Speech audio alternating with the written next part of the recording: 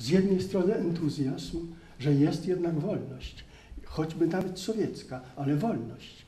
Jeden z historyków, to wczoraj przeczytałem, dzisiaj Państwu przytoczę, chyba kolega Zarzycki, za, pan, napisał w swojej książce Wielka Trwoga, taką, taką scenkę przytacza, y, że w Warszawie w 1945 czy 6 roku przed krakowskim przedmieściem wśród ruin pogrzeb.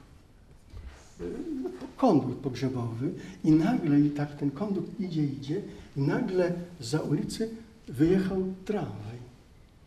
Ludzie się po prostu zatrzymali, zaczęli klaskać, bo tramwaj wjechał, znak nowego życia, jakieś miasto się odbudowuje.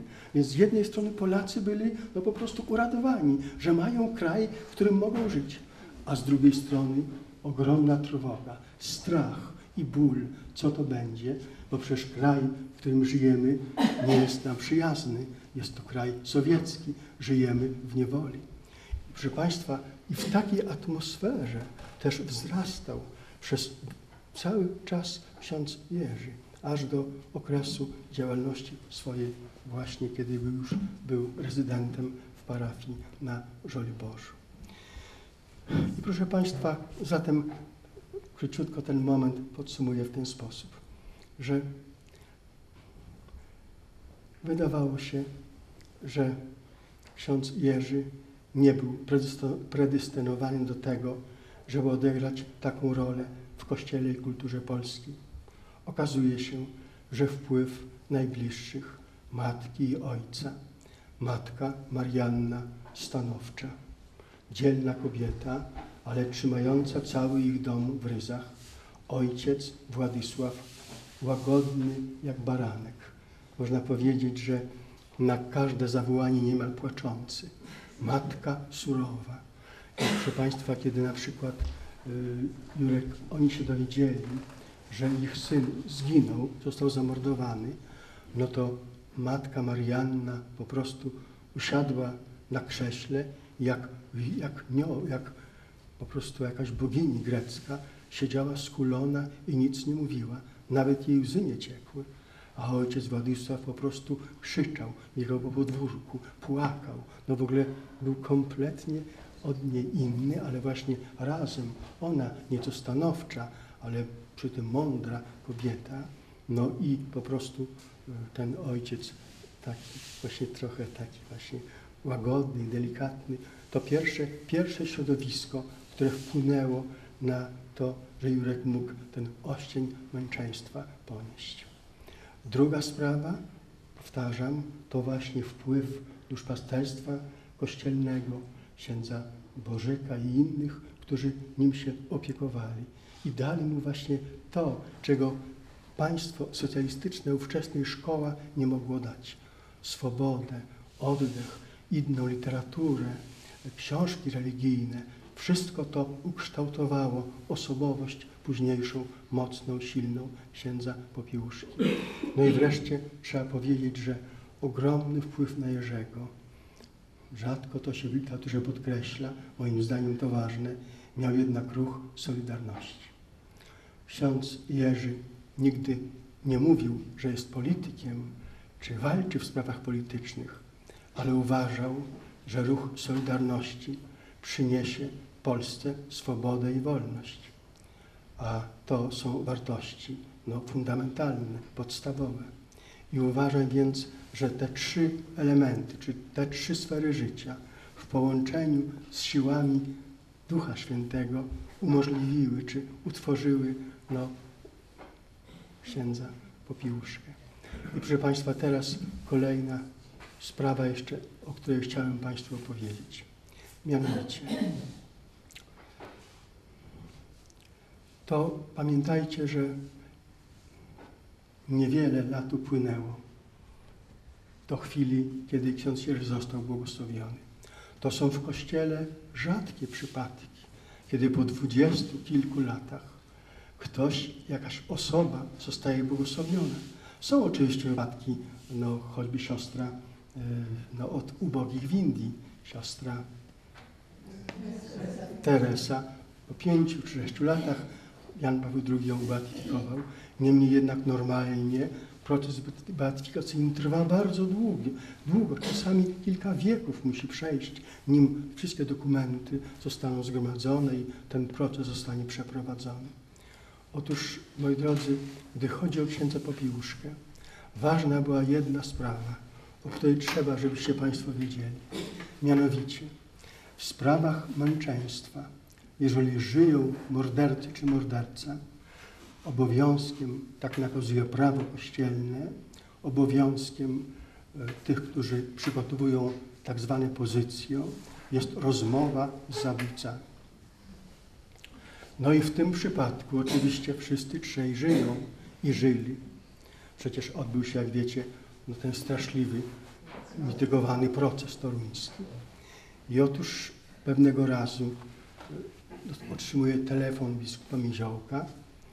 Biskup Miziołek mówi, Jasiu, no trzeba przygotować proces, z materiały, to może byś się do tego nadał.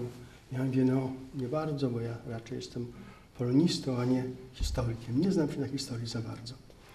No, ale jak to w kościele, cóż powiesz biskupowi, niech będzie, nie ma rady.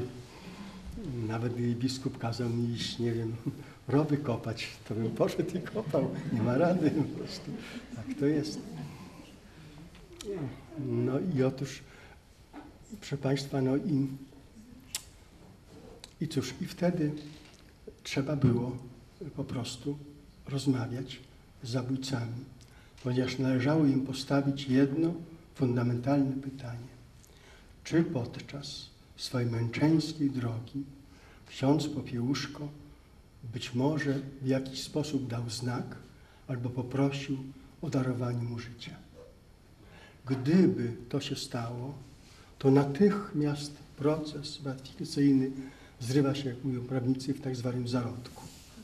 Gdyby ksiądz Jerzy chociaż dał jakiś znak, ale wyraźny, który by sugerował, że słuchajcie, nie zabijajcie mnie, bo ja chcę żyć, to by natychmiast zakończyło wszelkie starania o proces beatyfikacyjny. Dlatego też należało, należało z nimi rozmawiać. I tak się stało, nie wiem, szczęśliwie czy nie szczęśliwie, że e, podjąłem się tego zadania, żeby z nimi rozmawiać. No i cóż, czy Państwo sobie wyobrażacie, mieszkałem wtedy na Saskiej Kępie, otwierają się drzwi, w drzwiach stoi Piotrowski.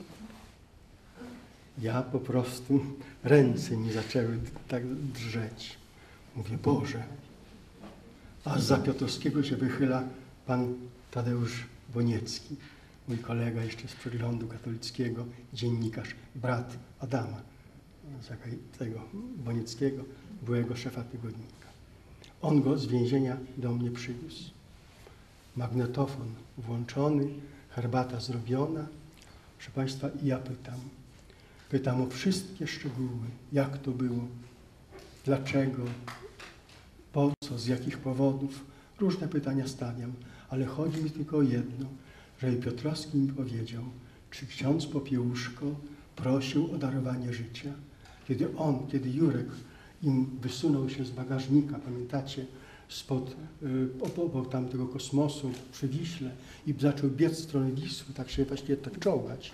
I on go bił, walił tym strasznie, takim kijem wielkim, owiniętym szmatem, takim drugą i okropne, po prostu.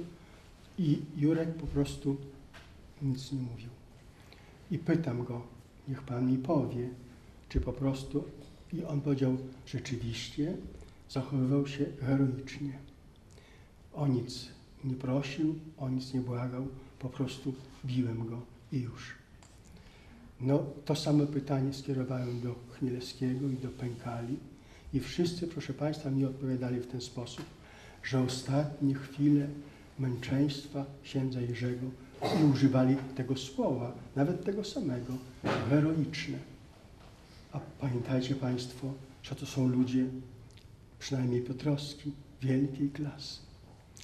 To był wychowany matematyk, wychowany przez ubecję, wyszkolony, znakomity, sprawny fizycznie technicznie, intelektualnie.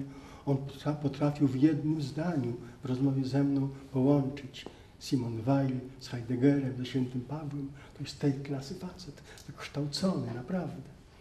No tam Chmielewski trochę może inaczej, raczej taki był bardziej jak Pękale, to specjalnie tam jakiejś tej wielkiej roli tak nie odgrywał w tej, jak to Herbert napisał, bandzie trojga, która zamordowała Popiełuszkę. I proszę Państwa, y, do czego zmierzam? Do tego właściwie, że, że w pewnym momencie Piotrowski mówi nam, a proszę księdza, to niech ksiądz mi przyniesie różaniec, to ja się może pomodlę za księdza Popiełuszkę. Ja w ogóle trochę tak miałem. Mówię, co? No ale następnym razem przyniosłem mu różaniec, przyniosłem maleńką Biblię, wszystko wziął. I proszę Państwa, po dwóch tygodniach myślę, i mówi tak, no księże Janie, my się zaczynamy niemalże już kolegować, co mnie po prostu już zaczęło doprowadzać. No Państwo wyobrażacie, ja robię herbatkę, ciasteczka przynoszę, rozmawiamy. No, no ja jako nie mogę wejść w jego serce, więc nagrywam wszystko. Musi być wszystko nagrane, do Rzymu musi wszystko pójść. No i ja w kościele, bo wtedy pracowałem na Żylborzu, mieszkałem w pokoju księdza Jerzego, tam gdzie on mieszkał. I podczas kazania, proszę Państwa, powiedziałem głośno, słuchajcie, jak właśnie rozmawiam z księdzem, z panem Piotrowskim, on właśnie jest tak jakby się nawraca, a kto wie, zobaczcie święty Paweł i tak dalej. Jak ja to powiedziałem, Kościół zafalował. Po mszy świętej myślałem, że mi ludzie po prostu ścianę wbiją. Czy ksiądz zwariował? Niemożliwe. Tacy ludzie się nie mogą nawrócić. To w ogóle... No, proszę Państwa. No dawno. Dawno, tak. 80... Książki są w takim piśmie antykościelnym. A to później, później. Zaraz jeszcze nie skończyłem powieści. I, i proszę Państwa, i ja przy, przyznaję, w swojej takiej dziennikarskiej naiwności myślę sobie tak, no przecież z punktu widzenia chrześcijaństwa i katolicyzmu nie mogę odmówić żadnemu człowiekowi, nawet mordercy największemu, przemiany. No to się może przecież zdarzyć. Przynajmniej to jest niesprzeczne. No, jest to logiczne. Myślę, pewnie tak. I tak trochę mu ufałem. Ale proszę Państwa, jak Pani teraz na to słusznie uwagę zwróciła, kiedy on później już zaczął po prostu pisywać te kompletne głupstwa w tych faktach, faktach i mitach. Tak. I potem po prostu mówił, że on jakby mógł, to jeszcze raz by Biuszkę zabił. No to ja wtedy oczywiście myślę, no chyba zwariowałem. Co ja wygadywałem? Kompletnie nie mam racji. Znaczy, nie bardzo wierzę w taką duchową przemianę tego człowieka, ale z drugiej strony, proszę Państwa, y, no wiecie teraz, że różne są poglądy na temat ostatnich chwil księdza Jerzego. Niektórzy wręcz kwestionują to wszystko, co my uważamy za no, ostatni jakby wynik badań IPN-u i w ogóle naszych, że jednak stało się tak, jak się stało, czyli że ta banda trojga zamordowała księdza Pobiłuszki. No poglądy dziennikarzy wiele są inne. Odbywało się później, przedtem, no różne rzeczy. W każdym razie, proszę Państwa, ja uważam osobiście, e, po rozmowie z tymi bandziorami, że jednak każdy przecież oddzielnie opowiedzieli mi tę historię właściwie prawie tak samo.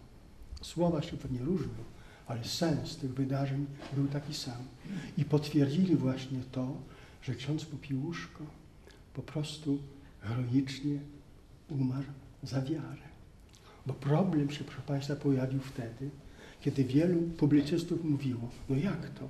Jak chcecie beatyfikować kogoś, kto wdawał się w politykę, kto był politykiem, kto po prostu no, działał nawet jako ramię Solidarności.